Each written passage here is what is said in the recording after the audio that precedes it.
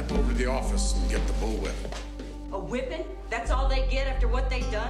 Get out of there! It was a matter of honor. They're paying a thousand dollars to whatever kills the two boys that cut up Delilah. In a time when lawmen were killers. What are y'all looking at? You English, Bob? Outlaws were heroes. Well, I thought that you were dead. Hell, I even thought I was dead. Till I found out I was just in Nebraska. And a bad reputation. You're the one who killed William Harvey and robbed that train over Missouri? Was as good as gold. My guess is you're calling yourself Mr. William Munny. Say what? You don't look no meaner than hell, cold-blooded damn killer. I ain't like that anymore, kid.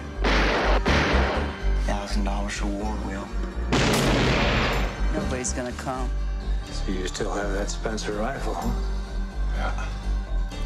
He's my partner. He don't go, I don't go. What's it come to three ways? Just because we're going on this killing, that don't mean I'm gonna go back to being the way I was.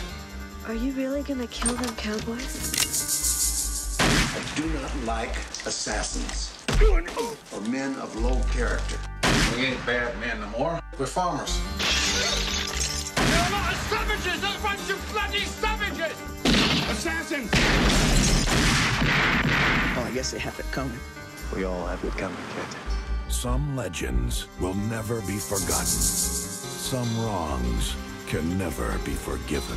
Any man don't want to get killed. Better clear on out the back. Unforgiven.